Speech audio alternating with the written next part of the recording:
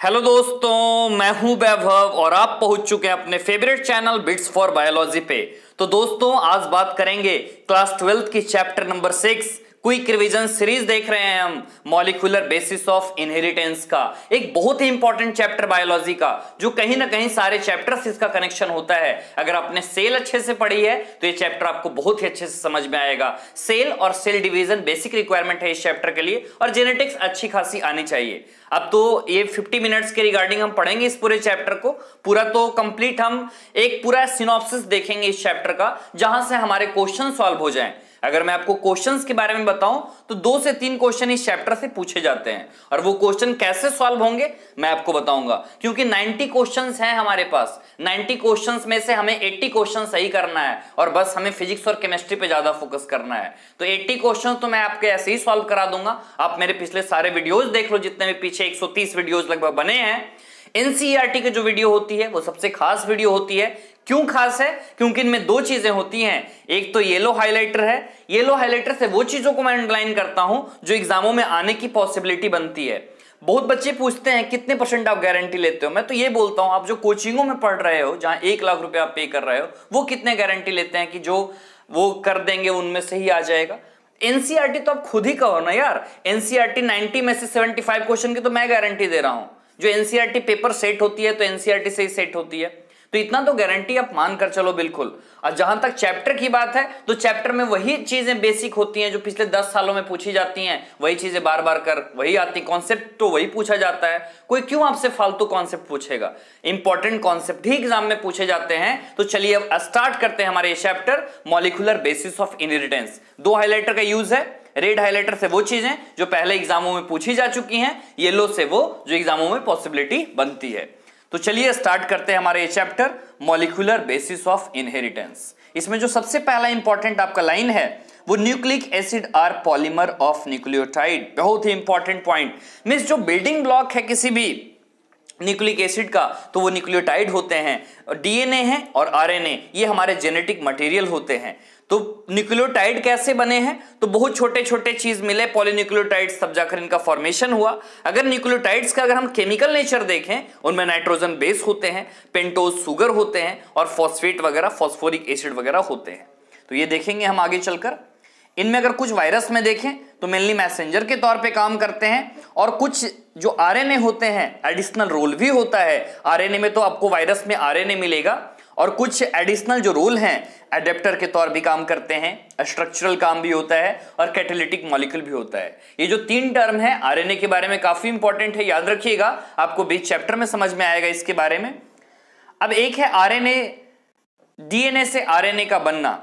ठीक तो इस प्रोसेस को क्या बोलते हैं? ट्रांसक्रिप्शन बोलते हैं। अब प्रोटीन का बनना तो इसको ट्रांसलेशन बोलते हैं। तो कुछ ऐसे प्रोसेस हैं, इस प्रोसेस के ही बारे में इस चैप्टर में पढ़ना है हमें। चलिए आगे आप देखिए इसको।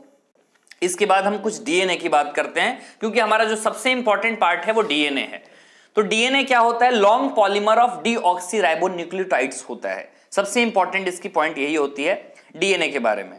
और भी अगर हम बात करें डीएनए के बारे में तो नंबर ऑफ़ न्यूक्लियोटाइड्स से बने हुए हैं। जो पेयर ऑफ़ न्यूक्लियोटाइड्स होता है, जिसको हम बेस पेयर बोला करते हैं तो ये भी काफ़ी इंपॉर्टेंट पॉइंट है बेस पेयर से रिगार्डिंग इसके बाद कुछ इंपॉर्टेंट चीज़ें बताई गई हैं। किसमें कितने बेस पेयर्स मौजूद होंगे? जैसे एक बैक्टीरियोफेज है तो उसमें निक्लोटाइड के बारे में बताया गया है। तो उसमें 5386 न्यूक्लियोटाइड्स जो भी वैल्यू दे रखे हैं यहाँ पर, वो अब याद रखिएगा। ह्यूमन डीएनए का तो आपसे पूछा भी गया है कि ह्यूमन डीएनए में कितनी वैल्यू होगी। तो ह्यूमन डीएनए में जो हैप्लॉइड की अगर बात करें तो उसमें 3.3 point three into ten to the power nine base pair होगा। अगर यही हम बात करें डिप्लॉइड की, जिसमें टू सेट ऑफ़ क्रोमोजोम होंगे तो 6.6 point six into ten to the power nine base pair होगा। तो इतना आपको सिंपल सा समझ में आना चाहिए। जो यहाँ दे रखा है, उसके बारे में थ्री बिलियन के बारे में दे रखा है कि वो थ्री बिलियन बेस पेयर उसका है। तो ये हम बात कर रहे थे बेस पेयर के बारे में। कुछ बैक्टीरियोफेज वगैरह के बारे में दे रखे हैं तो वो चीज़ आप याद रखिएगा। ठीक है? इसके बाद हम आगे की ओर बढ़ते हैं। स्ट्रक्चर ऑफ़ पॉलीन्यूक्लियोटाइड चेन के बारे में बात की जा रही है। इस चैप्टर को ज़्यादा डिटेल में नहीं देखेंगे। जो चीज़ें इंपॉर्टेंट है, जो पूछी जाती हैं, वही मैं आपको सिर्फ़ बताऊँगा। एक न्यूक्लियोटाइड है, उनके पास तीन कंपाउंड होती हैं। एक तो नाइट्रोजनस बेस होता है, जिसको नाइट्रोजन बेस बोलते हैं। एक पेंटोज सुगर होता है, जो कि अगर आरएनए का केस है तो राइबोज होगा डीएनए का केस है तो डीऑक्सी राइबोज होगा। सिंपल सी चीज़ है। इसके बाद एक फॉस्फेट ग्रुप होता है या फॉस्फोरिक एसिड होता है, जो डीएनए को एसिडिक बनाता है। आपको पता होना चाहिए डीएनए एक एसिडिक चीज़ होता है। जो डीएनए एक एसिडिक सबस्टांस होता है तो एक पता होना चाहिए आपको जो न्यूक्लियस में प्रेजेंट है। ठीक है? अब दो चीज़ें हैं प्यूरिन है और पैरिमिडीन है। प्यूरिन का हमेशा कनेक्शन पैरिमिडीन से होगा। याद रखिएगा प्यूरिन प्यूरिन कभी बॉन्ड नहीं बना सकते। प्यूरिन जैसे एडेनिन और गुआनिन या सिंपल से याद रखिएगा प्यूरिन है तो एडेनिन है और गुआनिन है।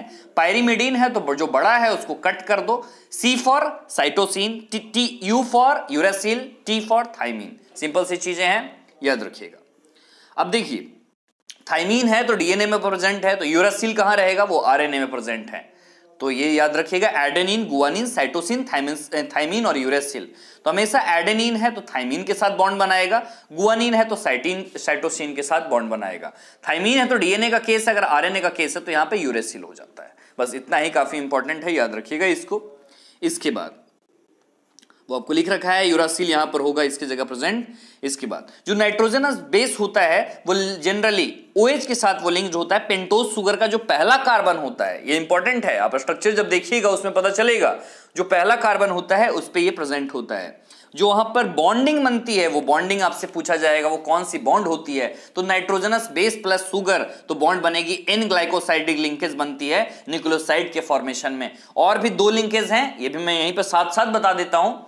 न्यूक्लियोसाइड और प्लस फॉस्फेट के बीच फॉस्फोइस्टर लिंकेज का फॉर्मेशन होता है। और न्यूक्लियोटाइड और न्यूक्लियोटाइड मीन डाइन्यूक्लियोटाइड हैं तो फॉस्फोडाइस्टर लिंकेज का फॉर्मेशन होता है। याद रखिएगा फॉस्फेट प्लस हाइड्रोक्साइल ग्रुप जो सुगर का होगा, वहाँ एस्टर बॉन्ड का फॉर्मेशन होता है। जो भी बॉन्ड से रिलेटेड क्वेश्चन पूछे जा सकते थे, उसको मैंने एक जगह आपको बता रखा है। ठीक है? तो याद रखिएगा two sugar of same strength तो फॉस्फोडाइस्टर बॉन्ड का फॉर्मेशन होगा। Two nucleotide of different strength तो हाइड्रोजन बॉन्ड का फॉर्मेशन होगा। Two nucleotide of a strength तो ईस्टर बॉन्ड का फॉर्मेशन होगा। फिर से सुनिएगा ये सब चीज़ों को। ठीक है? हम आगे की ओर बढ़ते हैं। फॉस्फोइस्टर लिंकेज मैंने आपको बता दिया है। यहाँ पर फॉस्फोड ग्रुप का जो लिंकिंग होगा, वो फिफ्थ कार्बन के साथ होगा। यहाँ पे लिंकिंग कोई भी न्यूक्लियोसाइड है, इसके आगे सब कुछ लिंकेज मैंने आपको बता रखा है यहाँ पे। ये लिंकेज का यहाँ पे डायग्राम दे रखा है तो डायग्राम अच्छे से देख लीजिएगा। ठीक है, आगे की ओर बढ़ते हैं हम। ठीक है, अब आपसे एक क्वेश्चन पूछी जाती है, किसी भी पॉलीन्यूक्लियोटाइड चेन है तो उसकी बैकबोन क्या होती है? क्योंकि किसी भी चीज़ की बैकबोन बहुत ही ज़रूरी है। तो सुगर है और फॉस्फोट होते हैं जो इसके बैकबोन पूछे जाने की पूरी पॉसिबिलिटी बनती है। ये क्वेश्चन याद रखिएगा इंपॉर्टेंट है। इसके बाद, आरएनए है तो आरएनए में आपको बताया ही, राइबोज उसमें प्रेजेंट होता है, वहाँ फाइव मिथाइल यूरेसिल प्रेजेंट होता है, जिसको थाइमिन बोला करते हैं। अब डीएनए के बारे में कुछ इंपॉर्टेंट बातें लिखी गई हैं। डीएनए डीएनए एक एसिडिक सबस्टांस होता है। थाइमिन जो है थाइमिन ही एडिशनल स्टेबिलिटी देने का काम करता है किसी भी डीएनए को। जैसे एक चीज़ होता है एडेनिन के साथ थाइमिन का कनेक्शन होता है डबल बॉन्ड गुआनिन का साइटोसिन के साथ ट्रिपल बॉन्ड होता है। यहाँ पे जो हाइड्रोजन बॉन्ड लगे होते हैं, यही हेलिकल स्ट्रक्चर को स्टेबिलिटी प्रोवाइड करने का काम करते हैं। ठीक है? अब डीएनए के एसिडिक सब्सटेंस है, जो न्यूक्लियस में मिली थी न्यूक्लियस के अंदर एक पस सेल होता है पस सेल होता है पस सेल की जो न्यूक्लियस थी, उसके ही अंदर मिली थी, उसमें एक सब्सटेंस देखा गया जिसका नाम था न्यूक्लियन और उस टर्म दिया गया न्यूक्लिक एसिड, नाम था साइंटिस्ट अल्टमान और डिस्कवरी हुई थी मिक्सचर के द्वारा तो ये नाम दिया गया। ठीक है? वाटसन और क्रीक ने एक मॉडल दिया, आगे चलकर आपको पता होगा डीएनए का जो मॉडल दिया गया डबल हेलिक्स मॉडल दिया गया, वो जो डेटा लिया गया था, वो विल्किंस और फ्रैंकलिन ने दिया था। इसके बाद डबल हेलिक्स मॉडल आया। तो कहीं ना कहीं बहुत साइंटिस्टों का ज़िक्र है इसमें, इस चैप्टर में आगे आएगा हारसा चेज फिर निरेनबर्ग। तो बहुत सारे साइंटिस्ट के नाम आएँगे। तो साइंटिस्ट के नाम इसमें इंपॉर्टेंट है, एक जगह लिख लीजिएगा। ठीक है, हम आगे की ओर बढ़ते हैं। इसके आगे।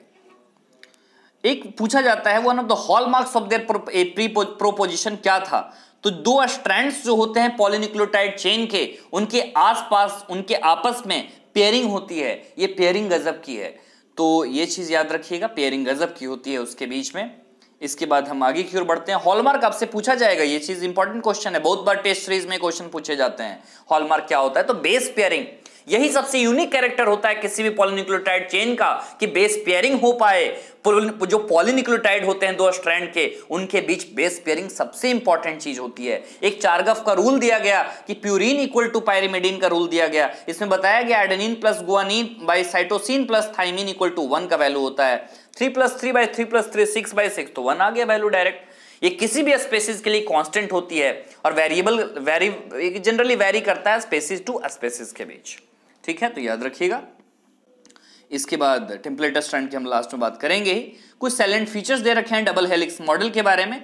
उसके बारे में हम देखते हैं। टू पोलिनिकल चेन देख लिया हमने सुगर फॉस्फेट के बीच base project inside five to three end होता है। आप जब भी डीएनए का स्ट्रक्चर देखोगे तो आप देखोगे उसमें फाइव टू थ्री इंड मिल रहा है, जो पोलरिटी है और अदर चेन में थ्री टू फाइव इंड आपको मिल रहा है। इसमें बॉन्डिंग मैंने आपको बता ही दिया आइडेनिन थाइमिन वगैरह के बारे में। इसके बाद यूनिफॉर्म डिस्टेंस होता है। और राइट हैंडेड फ़ैशन में, आपस में होते हैं ये क्वाइल्ड और जो पिच होता है, इनका जो डिस्टेंस होता है दो सक्सेसिव स्टेप के बीच, वो 3.4 एंगस्ट्रम होता है। यहाँ पर जो नैनोमीटर में बात दे रखा है, उसके बारे में है। ठीक है? और भी चीज़ें इसमें पूछी जाती हैं। एक फुल टर्न जो हेलिकल स्ट्रैंड होता है, उसमें कितने स्टेप होते हैं? तो दस स्टेप होते हैं तो यहाँ पे दस बेस पेयर उसमें मौजूद होंगे। या बॉन्डिंग यहाँ देख सकते हैं हाइड्रोजन बॉन्ड यहाँ दे रखा है। एडेनिन थाइमीन है तो डबल बॉन्ड है गुआनिन साइटोसिन है तो ट्रिपल बॉन्ड है यहाँ पे। ये चीज़ मैंने आपको बता रखा है। इसके बाद डिस्टेंस जो दे रखा है यहाँ पे 0.3 नैनोमीटर वही चीज़ मैंने बताया distance between two successive step और length of one complete turn अगर आपसे पूछा जाए तो 34 एंगस्ट्रम वो होता है, वो 10 बेस पेयर उसमें मौजूद होते हैं। ठीक है? इसके आगे।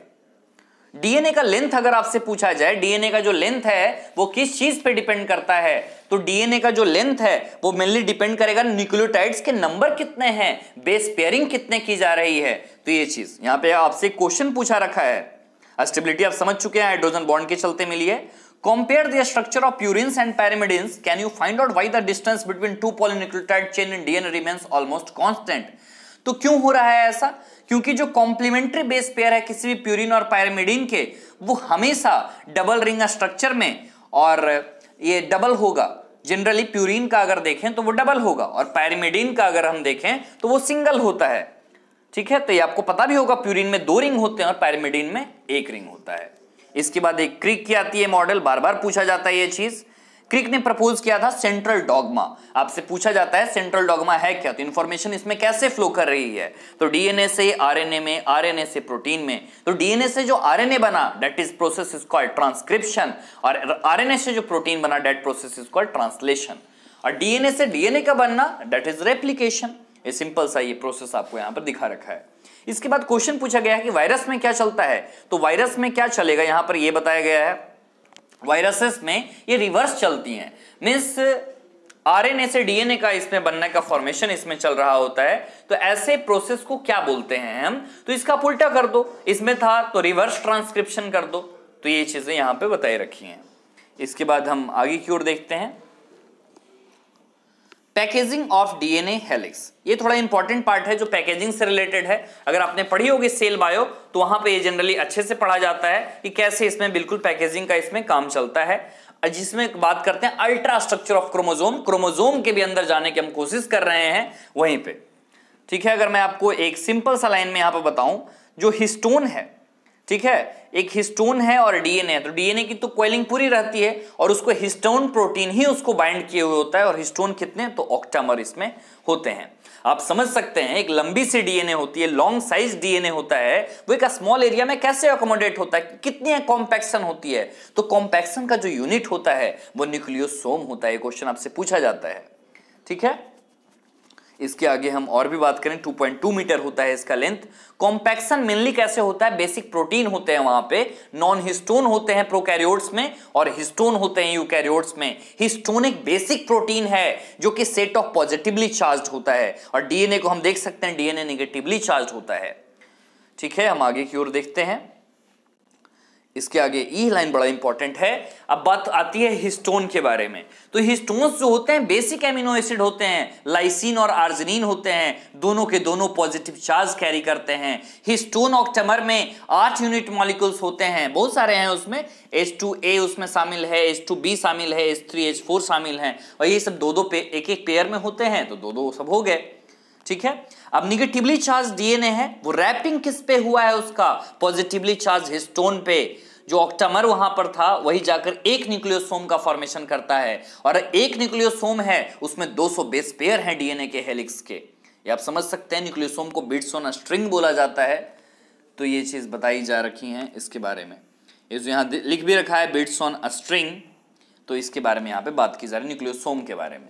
ठीक है? अब कोई भी मैमेलियन सेल है, यहाँ जो क्वेश्चन पूछा रखा है मैमेलियन सेल में कितने होंगे टोटल नंबर ऑफ़ न्यूक्लियोसोम तो 3.3 point three into ten to the power seven nucleosome इसमें मौजूद होंगे। सच बिट्स कितने होंगे? अगर मैं आपको एक पूरा का पूरा यूनिट दिखाऊँ, वो कैसे काम कर रहा होता है तो सबसे पहले डीएनए है, आगे मैं तो थोड़ा दिखाता हूँ। सबसे पहले क्या है? डीएनए डीएनए से क्या बना? न्यूक्लियोसोम न्यूक्लियोसोम से सोलेनोइड सोलेनोइड से क्रोमेटिन फाइबर क्रोमेटिन फाइबर से क्या होगा? तो क्रोमेटिड होगा। क्रोमेटिड से क्रोमोजोम लास्ट तो आपको पता होगा मेटाफेज में कॉन्डेंसेशन ये होता है। हम पढ़ भी चुके हैं सेल डिवीज़न में, हम सेल लेवल तक सारा कुछ जान चुके हैं। इसके बाद नॉन हिस्टोन क्रोमोजोमल प्रोटीन के बारे में बात की जाती है। ये जनरली जो क्रोमेटीन की पैकेजिंग होती है हायर लेवल पे, उसमें एडिशनल सेट चाहिए होता है प्रोटीन का तो उसी को बोला जाता है नॉन हिस्टोन क्रोमोजोमल प्रोटीन यहाँ पे इसको बोला जाता है। तो ये भी काफ़ी इंपॉर्टेंट है, इसको याद रखिएगा। अब आगे बारी आती है यूक्रोमेटिन और हेट्रोक्रोमेटिन के बारे में। तो ये भी बार बार आपसे पूछा जाता है तो इसके बारे में भी आपको समझना चाहिए। सबसे पहले यूक्रोमेटिन होते क्या है? ये बिल्कुल थीन होते हैं, एक्सटेंडेड होते हैं, लूजली होते हैं, लाइट स्टेंड पार्ट हैं ये क्रोमेटिन के, जेनेटिकली मोर एक्टिव होते हैं, ट्रांसक्रिप्टिकली एक्टिव होते हैं बिल्कुल लेस स्टोन प्रोटीन होता है इनमें। इतनी बातें थी यूक्रोमेटिन के बारे में। हेट्रोक्रोमेटिन थीक होते हैं क्वाइल्ड होते हैं कंडेंस्ड पार्ट होते हैं डार्क होते हैं लेस एक्टिव होते हैं और मोर हिस्टोन प्रोटीन इसमें शामिल होता है। तो ये बातें थी यूक्रोमेटिन और हेट्रोक्रोमेटिन के बारे में जो क्रोमेटिन का हमने पार्ट पढ़ा। इसके बाद बारी आती है। अब यहाँ से मेनली जो चैप्टर है स्टार्ट होता है। रिसर्च फॉर जेनेटिक मटेरियल अब जेनेटिक मटेरियल के लिए खोज जारी है। अब सबसे पहले एक साइंटिस्ट है नाम था ग्रिफिथ ठीक है? तो ट्रांसफॉर्मिंग प्रिंसिपल उन्होंने दिया, जिसको ट्रांसफॉर्मेशन के नाम से आज जानते हैं हम। कई बार क्वेश्चन भी पूछा जा चुका है ट्रांसफॉर्मेशन को किसने खोजा? तो ट्रांसफॉर्मेशन को ग्रिफिथ ने खोजा। डीएनए का मटेरियल मीन जेनेटिक मटेरियल के लिए सर्च की जा रही है कि आरएनए है या डीएनए है। तो डीएनए स्टेबल होता है, एक एविडेंस मिला है हमें। 1928 की बात है साइंटिस्ट हैं ग्रिफिथ डिस्कवरी चल रही है स्ट्रेप्टोकोकस निमोनियाई पे। या डिप्लोकोकस निमोनियाई पे। न्यूमोकोकस जो है, उसको हमने कल्चर करवाया। दो तरह के हमें पार्ट मिले। एक तो स्मूथ साइनी कॉलोनी मिल रहा है और एक रफ कॉलोनी मिल रहा है। जो स्मूथ है, हमने उसको एस बोला। जो रफ है, हमने उसको आर बोला। जो स्मूथ है, वो कैप्सुलेटेड है। मीन्स म्यूकस और पॉलीसेक्राइड की कोटिंग है उसमें। मीन्स वो वायरुलेंट है। मीन्स वो पैथोजेनिक है। और जो रफ है, वो नॉन कैप्सुलेटेड है। नॉन वायरुलेंट है। नॉन पैथोजेनिक है। मीन्स डिज़ीज़ काउज नहीं करेगा। सबसे पहले बात की जा रही है यहाँ पर, चूहे की एग्ज़ाम्पल ली जा रही है। चलो एक एस स्ट्रेन लिया गया, जो वायरुलेंट था, जो पैथोजेनिक था। बताओ किसी भी चूहे में डालेंगे, चूहा मरेगा तो माइस विल डाई इसके बाद आर स्ट्रेन जो कि रफ कॉलोनी था, जो कि नॉन वायरोलेंट था, इसको इंजेक्शन दिया गया माइस में तो चूहा जो था, वो ज़िंदा रह गया, क्योंकि वो नॉन पैथोजेनिक था। ठीक है? इसके बाद क्या हुआ? और आगे कुछ चीज़ें चली हैं। इस स्ट्रेन सिर्फ़ सिंपल सा लिया गया तो वो चीज़ें मैंने आपको बता दी। इस स्ट्रेन को हीट क्रिएट किया गया। इस स्ट्रेन क्या था? पैथोजेनिक था। अब इसको माइस में इंजेक्ट किया गया। चूहा फिर भी ज़िंदा रह गया। S strain heat killed plus R strain live इसको माइस में इंजेक्ट किया गया। चूहा मर गया। एटॉप्सी किया गया। तो लाइव एस टाइप उसमें मिल गया। एस टाइप वायरुलेंट था पैथोजेनिक था, उसमें ज़िंदा रह गया था एस टाइप इसलिए चूहा मर गया था। ठीक है, ये याद रखिएगा।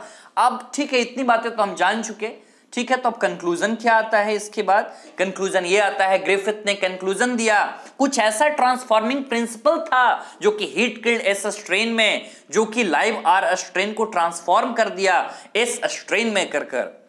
क्यों ऐसा हुआ? क्योंकि जेनेटिक मटेरियल्स का ट्रांसफ़र हुआ है तो इससे यही बात पता चलती है। और एक और line biochemical nature of genetic material was not defined from his experiment क्योंकि जेनेटिक मटेरियल कैसा नेचर का है, ये कहाँ एक्सपेरिमेंट में पता चला? तो इसके बारे में इसमें बात नहीं की गई। तो क्यों ना हम देखें कैसा होता है बायोकेमिकल नेचर तो चलिए आगे देखते हैं। Biochemical characterisation of transforming principle इसके बारे में तीन साइंटिस्ट आए एवरी मैक्लियोट और मैकार्टी फर्स्टली प्रूव किया इन्होंने कि जेनेटिक मटेरियल जो होता है, वो डीएनए होता है। ठीक है? एवरी मैक्लियोड और मैकार्टी इन्होंने ही बताया कि डीएनए जो होता है, वो हेरिडिटरी मटेरियल होता है। ठीक है? इसमें कुछ चीज़ें शामिल थी, जैसे कि एक था प्रोटीएज एक था आरएनएज और एक था डीएनएज ठीक है? तीन चीज़ें इसमें शामिल थी। क्या किया गया? प्रोटीएज और आरएनएज जो होता है, वो ट्रांसफॉर्मेशन को अफेक्ट नहीं करता है, लेकिन जो डीएनएज था, जो डीएनए था, वो ट्रांसफॉर्मिंग सबस्टांस था, जो कि ट्रांसफॉर्मेशन को रोकने में काम आ रहा था। दो तरह की चीज़ें होती हैं, मैं आपको बता दूँ यहाँ पे। अगर सिर्फ़ हमने बोला डीएनए डीएनए में एस लगाया सिर्फ़ हमने तो मीन्स बहुत सारे डीएनए हैं। अगर डीएनए लिखा हमने, जो यहाँ लिख रखा है, DNA means DNA digestive enzyme है। यही बच्चे कंफ्यूज होते हैं। ठीक है, यहाँ तक आपको समझ में आ चुका होगा। तो जो बेसिक सी बातें थी, वो हमने यहाँ कर ली हैं। इसके आगे हम बढ़ते हैं। जेनेटिक मटेरियल जो होता है, वो डीएनए होता है, कहते हैं ऐसा। एक अनइक्विवोकल मीन्स एक फाइनल प्रूफ देने का काम किया। हर एंड चेज ने कि डीएनए एक जेनेटिक मटेरियल जो है, वो एक्सपेरिमेंट से आया। बैक्टीरियोफेज पे एक्सपेरिमेंट चल रही थी। ये एक्सपेरिमेंट में सिंपल सा एक्सपेरिमेंट है, ज़्यादा डिटेल में मैं नहीं जाऊँगा। ये सिंपल सा एक्सपेरिमेंट है। एक फॉस्फोरस लिया गया, उसका 32 लिया गया और सल्फ़र का जो लिया गया, वो 35 लिया गया। ये दो तरह के यहाँ पे आइसोटोप लिए गए हैं। 32 और 35 यहाँ पे लिया गया है। इसके बाद क्या किया गया? आइसोटोप तो लिया गया यहाँ पे रेडियो एक्टिव फॉस्फोरस लिया गया, ठीक है? अब जो फॉस्फोरस 32 था, इसमें डीएनए और सल्फ़र जो था, इसमें प्रोटीन कैप्सूल इसमें क्या किया गया? वायरस से उसको बैक्टीरिया में पास कराया गया। तो देखा कि हाँ पास हो रहा है। इसमें तीन प्रोसेस शामिल थे। ये पहले इन्फेक्शन करवाया गया, फिर ब्लेंडिंग करवाया गया, फिर सेंट्रीफ्यूगेशन कराया गया। तो इससे ये साफ़ पता चलता है कि हाँ ये ट्रांसफ़र तो होता है। तो एक्सपेरिमेंट थोड़ा लंबा है रिलेटेड कोई क्वेश्चन पूछे नहीं जाते हैं। जो मैंने बात बताई है, वही चीज़ें इंपॉर्टेंट है इसमें। तीन प्रोसेस याद रखिएगा ध्यान में इन्फेक्शन ब्लेंडिंग और सेंट्रीफ्यूगेशन ठीक है, हम आगे की ओर बढ़ते हैं। हर चीज़ एक्सपेरिमेंट उन्होंने ही दिया था ये।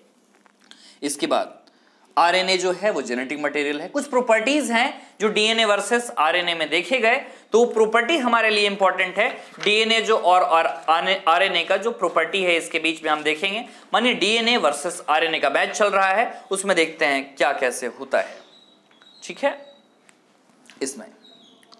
आरएनए जेनेटिक मटेरियल है किसका? टोबैको मोजाइक वायरस में है क्यूबे फ़ेज़ में है। आरएनए बहुत ही इंपॉर्टेंट हम उसके बाद देखेंगे। आरएनए वर्ल्ड में कुछ और चीज़ें मैं बताऊँगा इसके बारे में। अब देखिए, किन चीज़ों में अलग है? जैसे एक मॉलिक्यूल है, हम कैसे कहें कि वो जेनेटिक मटेरियल है? कुछ रिक्वायरमेंट कुछ क्राइटेरिया हमने सेट कर रखा है। पहली चीज़ सेल्फ रेप्लीकेशन होना चाहिए। डीएनए आरएनए खुद ही रेप्लीकेशन करते हैं। क्योंकि यहाँ बेस पेयरिंग और कॉम्प्लीमेंट्रिटी का रूल होता है यहाँ। दूसरी चीज़ केमिकली और स्ट्रक्चरली अस्टेबल होना चाहिए। डीएनए के पास है। डीएनए केमिकली लेस रिएक्टिव होता है। स्ट्रक्चरली मोर स्टेबल होता है। और जेनेटिक इंफॉर्मेशन को स्टोर करने का भी काम करता है। तीसरा चीज़, ये 2018 में क्वेश्चन आई है। तीसरा चीज़ म्यूटेशन स्लो चेंज होना चाहिए बिल्कुल इसमें। डीएनए में। होता है ऐसा? ठीक है। और चौथा चीज़ मेंडेलियन एक्सप्रेशन को वो फॉलो करे, वो आरएनए करता है। तो कुछ ऐसे कैरेक्टर यहाँ पर थे शामिल, जिसमें बताया गया, देखिए आरएनए जो होता है, वो बिल्कुल सिंगल स्ट्रैंडेड होता है लेबाइल होता है इजिली डिग्रेडेबल होता है। फ़र्स्ट जेनेटिक मटेरियल तो यही था। आज भी लोग मानते यही हैं कि फ़र्स्ट जेनेटिक मटेरियल यही है, बिल्कुल सही है। अब सिंगल स्टैंडर्ड होता है, ठीक है? जो स्ट्रक्चर होता है आरएनए का फंडामेंटली वो सेम होता है एस डीएनए पहली चीज़ आरएनए में राइबोज सुगर होता है, आप जानते ही हैं। थाइमिन इसमें बिल्कुल एबसेंट होता है, यहाँ पे यूरेसिल होता है, जो फाइव मिथाइल यूरेसिल है, जो एडिशनल स्टेबिलिटी देता है डीएनए को, या थाइमिन जो है। इसके बाद आरएनए जो है, एक पॉलीन्यूक्लियोटाइड चेन का बना हुआ है। ये जेनेटिक मटेरियल होते हैं कुछ वायरस में लेस स्टेबल है मोस्टली फ़ंक्शन करता है ये मैसेंजर के तौर पे, और डायरेक्टली कोड करता है प्रोटीन सिंथेसिस को। इजिली एक्सप्रेस हो जाते हैं कैरेक्टर ठीक है, इसके बाद इसी का डिटेल यहाँ पर पूरा दे रखा है। तो डीएनए एक बेटर जेनेटिक मटेरियल होता है। क्योंकि ज़्यादा चीज़ें जो हमने अच्छी देखी हैं, वो डीएनए में ही देखी है हमने। और आरएनए का टाइप भी पढ़ेंगे हम लोग आगे। ठीक है, हम आगे की ओर बढ़ते हैं। अब इसमें आता है जो टॉपिक का नाम है, वो आरएनए वर्ल्ड है। तो आरएनए हम जानते हैं फ़र्स्ट जेनेटिक मटेरियल है। आर कैटलिस्ट के तौर पे काम करता है। कैटलिटिक मॉलिक्यूल होता है। जैसे राइबोजाइम नॉन प्रोटोनिशियस होते हैं। और कैटलिटिक मॉलिक्यूल क्यों है? क्योंकि रिएक्टिव होता है ये। अनस्टेबल होता है म्यूटेशन बहुत ही फास्ट रेट पर चल रहा है, जैसे वायरस में आप देख सकते हैं वायरस का आरएनए जीनोम ठीक है? इसके बाद बारी आती है रेप्लीकेशन के बारे में। जितना अभी हम लोग पढ़ चुके हैं, उसमें जो भी चीज़ें इंपॉर्टेंट थी, मैंने आपको पूरा बता चुका है। और इसके बाद हम बारी आती है रेप्लीकेशन के बारे में, कि अब ये रेप्लीकेशन कैसे चलेगा। ठीक है? अब डीएनए का रेप्लिकेशन है, आप तो पढ़े होंगे। रेप्लिकेशन कहाँ चलता है? तो रेप्लिकेशन एस फ़ेज़ में चलता है। बार बार याद में दिलाता हूँ आपको। एक सेमी कंजर्वेटिव प्रोसेस है कि आइडेंटिकल कॉपी बने, जो डबल स्टैंडर्ड डीएनए है, उसका आइडेंटिकल कॉपी बने, जो एग्जिस्टिंग डीएनए था उससे। इसके लिए क्या किया जाता है? सबसे पहले एग्जिस्टिंग डीएनए है मेरे पास, ठीक है। उसके बाद टेम्पलेट तैयार किया जाएगा, उसका बिल्कुल सांचा। टेम्पलेट जब भी मैं बोलूँ तो सांचा, आप याद रखना। टेम्पलेट तैयार किया जाएगा new D new DNA strand का, पेरेंटल स्ट्रैंड से, उसका फिर फॉर्मेशन किया जाता है। तो ये ऐसे पूरा प्रोसेस ये चलता है। इसी में आपको आगे चलकर बताया गया semi conservative mode of DNA replication इसमें कुछ एक्सपेरिमेंटल प्रूफ देने की कोशिश की गई साइंटिस्टों के द्वारा। इसमें जो साइंटिस्ट पहले आपसे अगर पूछा जाए कि semi conservative mode of DNA replication किसने दिया तो प्रपोज तो किया था पहले वॉटसन और क्रैक ने, लेकिन प्रूफ कर कर दिखाया मेसल्सन और स्टॉल ने। इकोलाई पे एक्सपेरिमेंट चली 1958 में, टे और टेलर ने किया विसिया फावा पे। मेसल्सन और स्टॉल ने इकोलाई पे, और टेलर ने किया विशिया फावा पे। इसमें रेडियो एक्टिव थाइमेडीन का यूज़ किया गया था। ठीक है, इसके बाद हम आगे की ओर बढ़ते हैं। यही आपको मैंने बताया इसमें जो चीज़ें शामिल थी, वो चीज़ मैं डायरेक्ट बता रहा हूँ आपको, हैवी डीएनए और नॉर्मल डीएनए। दो तरह के डीएनए हो गए, हैवी डीएनए, नॉर्मल डीएनए। दोनों को सेपरेट किससे किया गया? एक मेथड था, जिसका नाम था सेंट्रीफ्यूगेशन सीजियम क्लोराइड में। सीजियम क्लोराइड डेंसिटी ग्रेडियंट होता है तो रेडियो एक्टिव आइसोटोप जो थे, वो सेपरेट नहीं हो पाए इसमें। आप नेक्स्ट आगे बढ़ते हैं हम। इकोलाई के बारे में एक इंपॉर्टेंट लाइन यहाँ पे, यही चीज़ें यहाँ पे एक्सपेरिमेंट की गई आपसे एक्सपेरिमेंट कोई नहीं पूछने जा रहा कैसे एक्सपेरिमेंट किया गया। जो मेन बातें में जो मैं बता रहा हूँ, वही एग्जामों में पूछी जाती है। इसके बाद हम आगे की ओर बढ़ते हैं। इकोलाई हर एक 20 मिनट में डिवाइड करता है। मेनली अगर एक्चुअल बात मैं बताऊँ तो हर एक 18 मिनट में डिवाइड करता है, अगर एक्चुअल डाटा आप देखो तो। इसके बाद हम आगे की ओर बढ़ते हैं। मैंने आपको बताया ही, जो टेलर ने डिस्कवरी किया है, वो विशिया फावा पे डिस्कवरी किया है। उनके कुछ कलीग्स भी इसके साथ शामिल थे, जिन्होंने डिस्कवरी ऐसा की है। ठीक है 1958 की वो बात है, जो ये किया गया। क्वेश्चन पूछा गया आपसे, याद रखिएगा।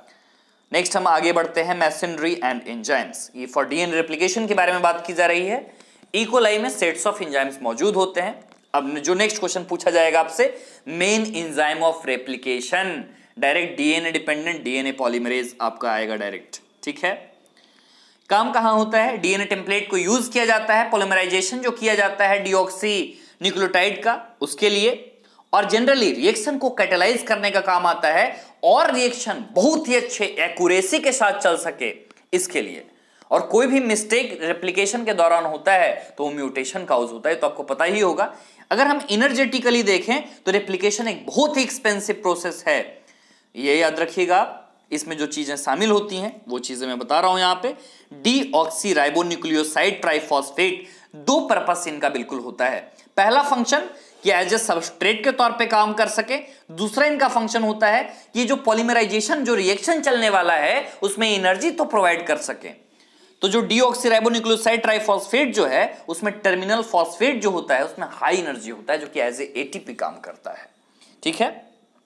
तो यहाँ जो भी चीज़ इंपॉर्टेंट थे मैंने आपको बता रखा है तो काफ़ी इंपॉर्टेंट पैराग्राफ है, याद रखिएगा क्वेश्चन आने की पूरी प्रोबेबिलिटी बनती है।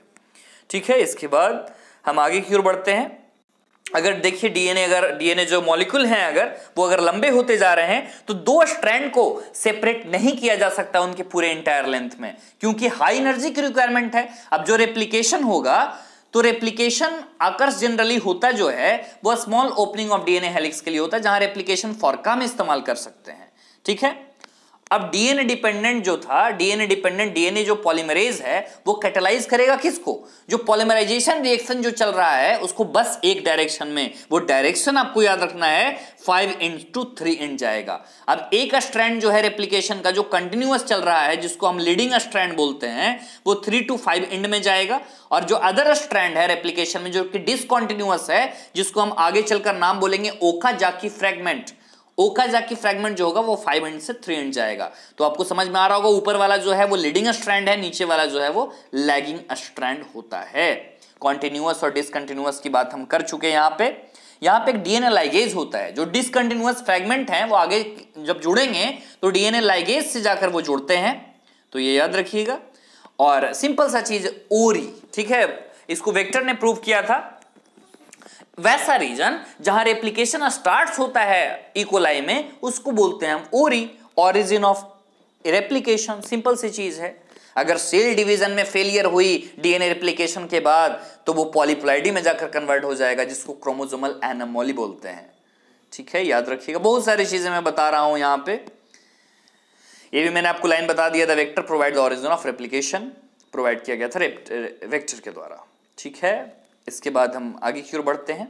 अबे मैं अगर जरा प्रोसेस बताऊँ आपको, तब आपको सिंपल से समझ में आएगा। सबसे पहले क्या किया गया? ये आप डायग्राम भी यहाँ पर देख सकते हैं। आपको जो मेन चीज़ें हैं, वो मैं बता रहा हूँ। सबसे पहले क्या किया गया?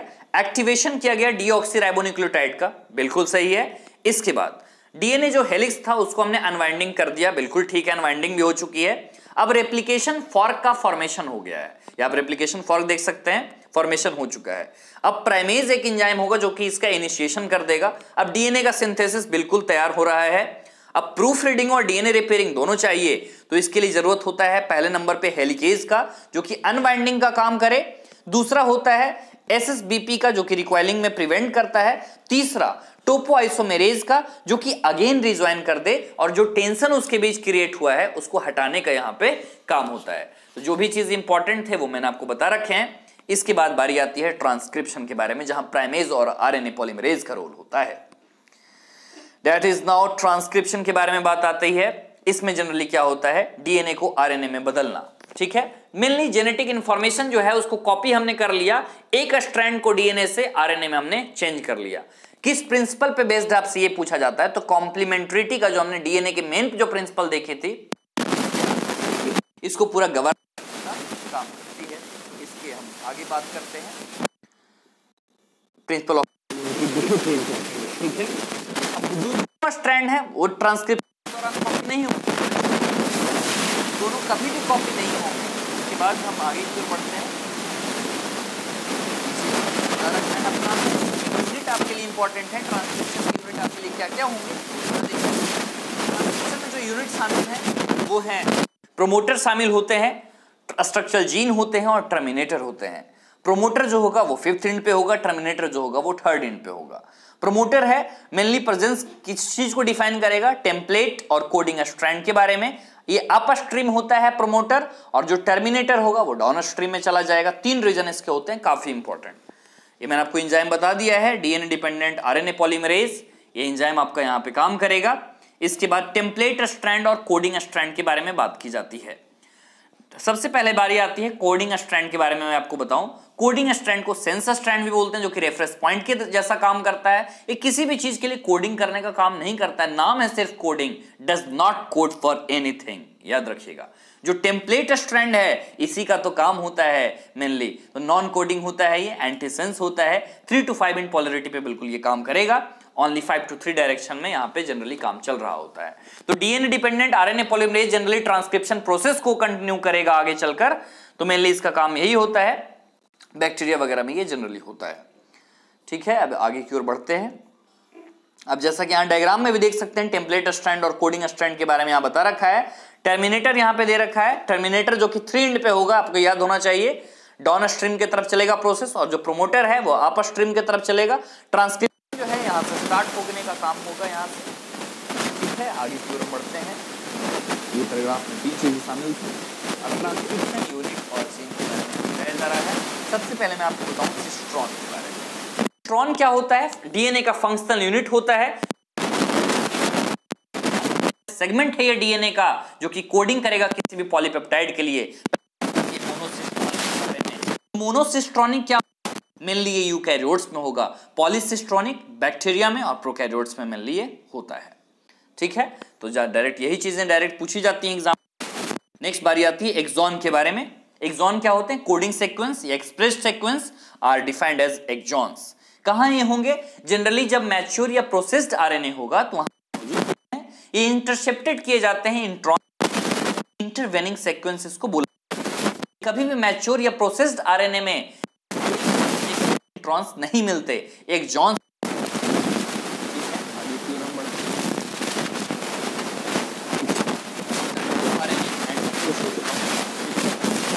हैं तीन आरएनए मौजूद हैं आरएनए के बारे में बात करते हैं उसके बाद प्री आरएनए ट्रांसफ़र आरएनए और फिर आरएनए थोड़ी थोड़ी चीज़ें मैं बता दूँ राइबोसोमल आरएनए आर आरएनए कहाँ प्रोडक्शन हुआ है जो 80 परसेंट जो सेल्स का टोटल आरएनए होता है, वो यही होता है, मोस्ट अबंडेंट यही होता है, आर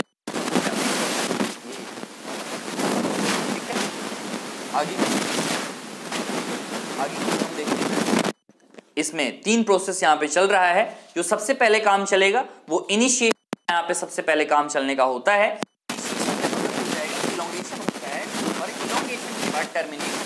काम चल रहा होता है। देखिए तीन प्रोसेस आपके पास में इलोंगेशन और टर्मिनेशन के बारे में यहाँ बात की जाएगी। जो सबसे पहले है इनिशिएशन जहाँ से ट्रांसक्रिप्शन स्टार्ट होगा, जहाँ से आर एन ए पॉलीमरेज आकर जोड़ने का काम करता है, इसके बाद है इलोंगेशन देखते इनिशिएशन में आर एन ए पॉलीमरेज जुड़ा है, इसके बाद है इलोंगेशन के बारे में। तो इलोंगेशन के बारे में बात चलेगी, फिर टर्मिनेशन जहाँ ट्रांसक्रिप्शन रुक जाएगा। इनिशिएशन है, अब कैसे बताओगे इसे? यहाँ से रिप्रेजेंट किया जाता है सिग्मा फैक्टर जो है तो इससे ये बताया जाता है। इसके बाद आगे क्यों जिन जो होता है वो कौन सा साइट वाला साइट होता है वो साइट होता है, जिसको टाटा बॉक्स भी बोलते हैं। जो सिग्मा फैक्टर होता है वो रिकॉग्नाइज करता है कि मोटर साइट कौन सा होगा। इसमें क्या यूज़ होंगे? न्यूक्लियोसाइड ट्राइफॉस्फेट होंगे जो कि एज ए सबस्ट्रेट इसमें यूज़ किए जाते हैं। और क्या होगा? जनरली फैसिलिटेट करता है हेल्थ ओपनिंग को।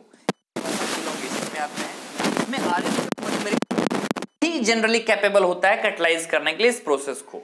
आरएनए पोलिमराइज जो है वो फॉस्फोडाइस्टर बॉन्ड जो होगा एडजेसेंट न्यूक्लियोटाइड के बीच में उसको एस्टेब्लिश करने में काम आता है। इसके बाद लास्ट है टर्मिनेशन जहाँ आरएनए पोलिमरेज है, जो टर्मिनेटर साइट पे जाकर पहुँच जाएगा, जहाँ जो नेसेंट आरएनए है, वो सेपरेट हो जाएगा। यहाँ पे डीएनए टेम्पलेट से, और टर्मिनेशन फैक्टर बिल्कुल यहीं पे है।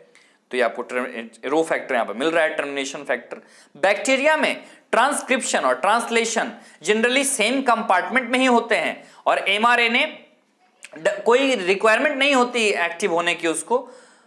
ठीक है, यहाँ तक जो बेसिक चीज़ें थी elongation termination initiation factor termination factor और फिर यू कैरियोट्स के बारे में बात करते हैं। यू कैरियोट्स में जनरली दो एडिशनल कॉम्प्लेक्सिटी यहाँ पर देखने को मिलते हैं। यू कैरियोट्स में याद रखिएगा ये चीज़। इसमें एटलीस्ट तीन आरएनए पॉलीमरेज इसमें होते हैं न्यूक्लियस में मौजूद। आरएनए पॉलीमरेज ऑर्गेनल्स में भी मौजूद हैं। और यहाँ पे बताया जा रहा है न्यूक्लियस में। आरएनए पॉलीमरेज जो फ़र्स्ट है, ठीक है? फ़र्स्ट के बारे में यहाँ बताया जा रहा है। उसमें क्या क्या चीज़ें शामिल होंगी, आप ये देखिएगा। यहाँ आपको इंट्रॉन वगैरह सब कुछ बता रखा है। आगे की ओर हम बढ़ते हैं। तो यहाँ पर क्या क्या चीज़ें शामिल होंगी? Twenty eight S eighteen S और five point eight S R R N A synthesis के लिए R N A polymerase first का हुआ फॉर्मेशन नेक्स्ट है R R N A polymerase second के बारे में हम बात करते हैं।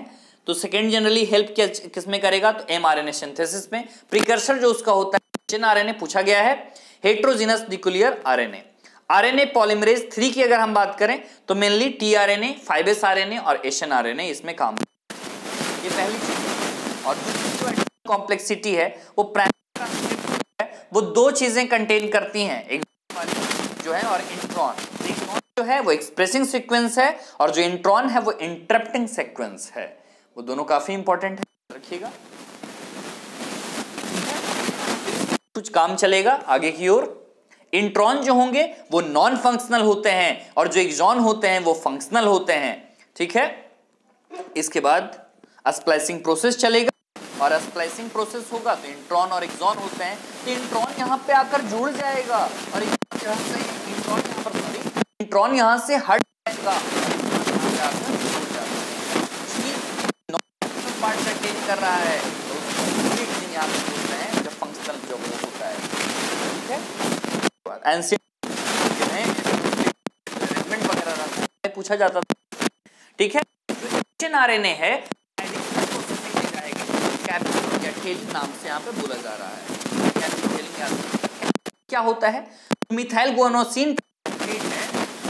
गुआनोसिन क्या होगा? जब एडेनोटाइट का जो रेसिड्यू है, उसको अगर ऐड किया जा रहा है H N R N A के थ्री इंड से, जो कि एम आर एन ए का होगा तो टेम्पलेट इंडिपेंडेंट मैनर में ये जाकर फॉर्मेशन हो जाता है 200 से 300 मॉलिक्यूल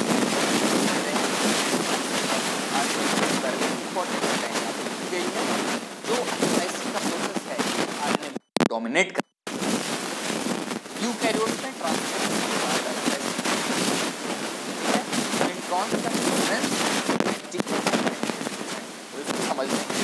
क्लास पूरा लग जाता है तो समझाएँगे एक बार इसके बाद बारी आती है जेनेटिक कोड के बारे में। जो इतना हम पढ़ चुके, ये सारा पॉइंट इंपॉर्टेंट था। अब इसके बाद बारी आती है जेनेटिक कोड के बारे में। एक लंबा सा चैप्टर है, थोड़ा टाइम लगेगा ही।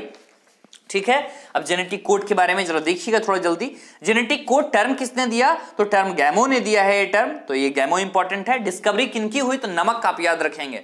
N M K N for Nirenberg M for Matthaei और के फॉर खुराना इन्होंने ही डिस्कवरी की है जेनेटिक कोड रिलेशनशिप इसमें बताया गया है, जो एम्यूनो एसिड्स के जो सीक्वेंस होते हैं, किसी भी पॉलीपेप्टाइड चेन और न्यूक्लियोटाइड होता है किसी भी डीएनए डीएनए में।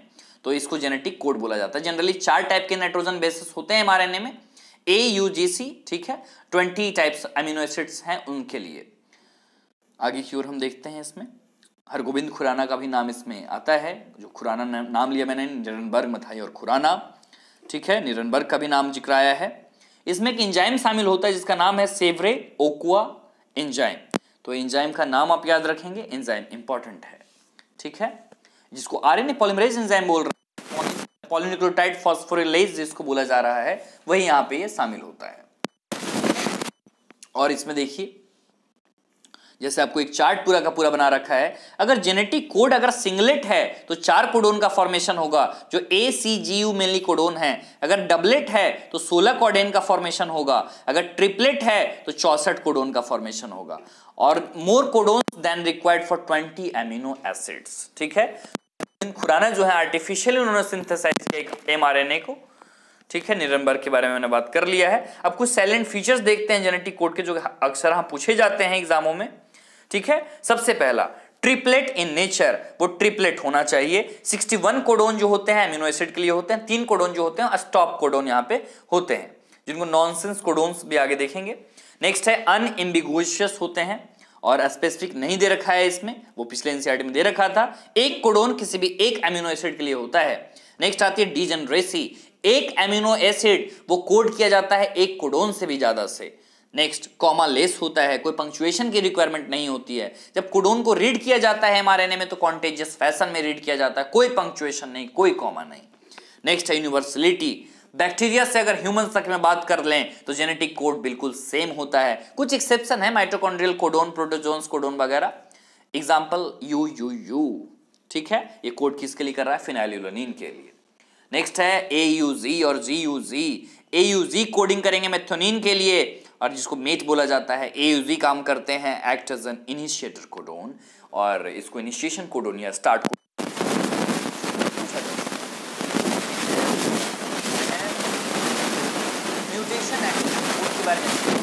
वगैरह के बारे में देखी है पिछले, इसमें प्रिंसिपल बेसिस ऑफ़ इनहेरिटेंस जो चैप्टर है हमारा, इसके बाद बारी आती है टीआरएनए इसके बाद, आप देखिए, इसके बारे में मैंने बात कर लिया है फ्रेम शिफ्ट और डिलीशन म्यूटेशन के बारे में अब बारी आती है टीआरएनए, जिसको एडेप्टर मॉलिक्यूल भी बोला जाता है, जो कि जेनेटिक कोड को रीड करने में काम आता है। देखिए, प्रोसेस कितना शानदार यहाँ पे चल रहा है।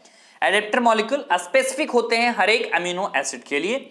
10 से 15 परसेंट टोटल आरएनए का ये होता है। सोलुबल आरएनए होता है, जिसको एस इसलिए बोला गया है। एडेप्टर आरएनए भी इनको बोला जाता है। जब प्रोटीन सिंथेसिस का जब टाइम आता है तो ये एक एमिनो एसिड्स के कैरियर के रूप में काम करते हैं। दो तरह के मॉडल होते हैं। एक तो 2D का मॉडल होता है और एक 3D का मॉडल होता है। 2D का मॉडल क्लोवर लीफ मॉडल होता है, जो कि हॉले ने दिया था। और जो 3D का मॉडल जो होता है, वो इन्वर्टेड एल सेप का मॉडल होता है। तो दोनों मॉडल इसमें इंपॉर्टेंट है।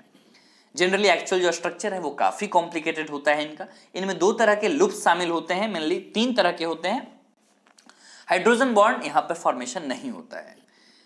तो आप इसमें देखिएगा कौन कौन से शामिल हैं। सबसे पहले हम बात करते हैं अटैचमेंट लूप के बारे में। सबसे पहले एक होता है अटैचमेंट लूप आपको मैं समझा दूँ अटैचमेंट लूप इस तरह का बिल्कुल होता है। ठीक है? इसका काम क्या होता है? जनरली जो टीआरएनए है, उसको राइबोसोम के लार्जर सब यूनिट के साथ उसको कनेक्ट करने का काम है। फिर रिकोग्निशन एक एंटीकोडोन लूप होता है। इनका काम होता है कॉम्प्लीमेंट्री सिक्वेंस जो एमआरएनए का है, उसको ये जनरली रिकोगनाइज करने के काम आते हैं। फिर डीएचयू लूप एक आता है। उसका काम क्या होता है? जो amino acid aminoacyl synthetase जो है, उसको रिकॉग्निशन लूप भी इसको बोला जाता है। ये उस इंजाइम को रिकॉग्नाइज करने के काम आता है। और ये जो इंजाइम है, कुछ एमिनो एसिड जो है, उनको स्पेसिफिक टाइप के उसको एक्टिवेट करता है। एमिनो एसिड एक्सेप्टर एंड से। एंटीकोडोन टोटल एक्सिट होते हैं। जो इंड होता है किसी भी लूप का, वहाँ स्पेसिफिक सीक्वेंस होते हैं थ्री के। जैसे आप देखो यू सी ए एंटीकोडोन है। ए जी यू कोडोन है ए यू जी एंटीकोडोन है और एयूएसी कोडोन है। ठीक है? आगे की ओर बढ़ते हैं हम। इसके बाद ये सब इनिशिएटर आरएनए वगैरह के बारे में बात की जा रही है यहाँ पे, कौन किसका इनिशिएशन करेगा तो उसके बारे में। तो आपको मैं पूरा का पूरा ये प्रोसेस बता दूँ, ये कैसे प्रोसेस चलता है। सबसे पहले ट्रांसलेशन जो प्रोसेस है, उसके बारे में आप जान लो। ये पॉलीमराइजेशन कोई भी अमीनो एसिड है, उसके पॉलीमराइजेशन का प्रोसेस है कि ताकि पॉलीपेप्टाइड का वो जाकर फॉर्मेशन कर सके। उसमें एम्यूनो एसिड्स के जो सिक्वेंस होते हैं, बड़े गजब के होते हैं और सारे किस चीज़ पे डिटरमाइन होंगे? एमआरएनए का जो बेस होता है, उस पर सारे डिटरमाइन किए जाते हैं। जो प्रोटीन सिंथेसिस होता है, वो राइबोसोम में होता है। जो सेब्रल राइबोसोम होते हैं, अगर सिंगल एमआरएनए के साथ जुड़ चुके हैं और एक चेन का उन्होंने फॉर्मेशन कर दिया, इसी चीज़ को पॉलीराइबोसोम बोला जाता है। तीन बार ये पूछा गया है नीट में। नीट एपीएमटी अगर मिला दें तो। जो पॉलीसेम जो होता है राइबोसोम का, वही आगे चलकर एमआरएनए का, एमआरएनए से प्रोटीन का फॉर्मेशन करता है। उसमें स्टेप कुछ शामिल है। सबसे पहला प्रोसेस एक्टिवेशन सबसे पहला प्रोसेस क्या है? एक्टिवेशन ऑफ़ एमिनो एसिड आपसे प्रोसेस का नाम याद रखना। Amino acid plus ATP amino acid tRNA synthetase बनेगा, कोई मतलब नहीं है। सबसे पहले एक्टिवेशन हुआ एमिनो एसिड का, फिर जो टीआरएनए है तो टीआरएनए का चार्जिंग हुआ। मींस टीआरएनए का लोडिंग हुआ, या कहें तो एमिनो एसाइलेशन हुआ टीआरएनए का। इसके बाद चलेगा ट्रांसलेशन का प्रोसेस ट्रांसलेशन में तीन प्रोसेस मेनली इन्वॉल्व इसमें होते हैं। सबसे पहले होगा पॉलीटाइड, जो पॉलीपेप्टाइड चेन होगा, उसका इनिशिएशन स्टार्ट होगा। उसमें पी साइट होता है ए साइट होता है और ई e साइट होता है। पी साइट पे पेप्टाइडल साइट होता है ए साइट पे एमिनोएसाइल साइट होता है ई e साइट पे एग्जिट साइट होता है। लार्जेस्ट यूनिट पी और ए साइट होते हैं। ठीक है? पहले तो हुआ पॉलीपेप्टाइड चेन का इनिशिएशन फिर इलोंगेशन होता है और देन टर्मिनेशन होता है। ये तीन प्रोसेस इसमें आपके शामिल हैं। अस्सी डिफरेंट टाइप के यहाँ पे पाए जाते हैं। प्रोटीन आप याद रखिएगा राइबोसोम के पास। तो ये सब कुछ इंपॉर्टेंट चीज़ें थी, जो आपको यहाँ पे बताई जा रखी हैं। तो ये सब याद रखिएगा कुछ कुछ इसके आगे हम बढ़ते हैं। ये चीज़ इंपॉर्टेंट है, राइबोसोम कैटलिस्ट की तरह तो काम करता ही है, और बैक्टीरिया में जो ये होता है, वो 23 एस आर एन ए होता है, जो कि बहुत ही हेल्पफुल होता है, जो कि राइबोसोम के तौर पे, राइबोजाइम के तौर पे बैक्टीरिया में काम करते हैं पेप्टाइड बॉन्ड फॉर्मेशन में। ठीक है, हम आगे की ओर बढ़े। नेक्स्ट बारी आती है यू टी आर की इंपॉर्टेंट है। अनट्रांसलेटेड रीजन याद रखिएगा, स्टार्ट कोडोन एयूजी होता है, initiator codon. Untranslated region UTR ये एमआरएनए पे प्रेजेंट होता है। रिक्वायरमेंट कब होती है? जो ट्रांसलेशन का प्रोसेस है, उसको और भी अच्छा एफिशिएंट बना दें, और अच्छी कारगर बना दें उसको तो यही होती है। कहाँ प्रेजेंट होती है? फाइव इंट पे और थ्री इंट पे दोनों जगह। फाइव इंट पे कम जब स्टार्ट कोडोन के पहले, और थ्री इंट पे कम स्टार्ट स्टॉप कोडोन के बाद। ये दोनों चीज़ याद रखिएगा। एक एक चीज़ इंपॉर्टेंट है जो बार बार मैं बोल रहा हूँ। इसके बाद आती है बारी जीन एक्सप्रेशन के बारे में। अब कैसे रेगुलेशन करोगे आप जीन एक्सप्रेशन का?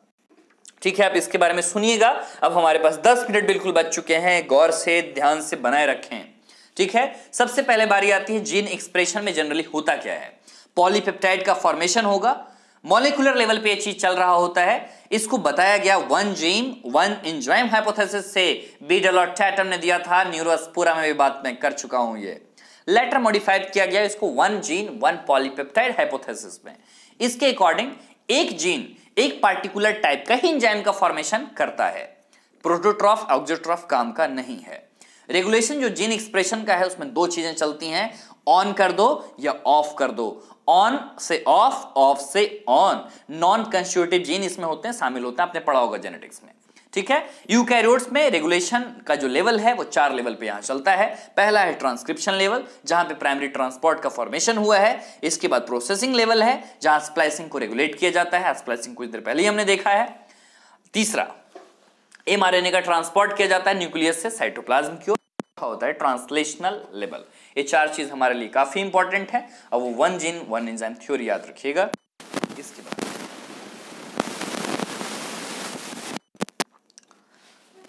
61 की बात है, दो साइंटिस्ट आए जैकब और मोनार्ड ऑपरेट मॉडल आए वो 61 में। और कैसे कोई जीन एक्शन किसी भी कोलाई में चल रहा है, उन्होंने ये बताने की कोशिश की है। ठीक है?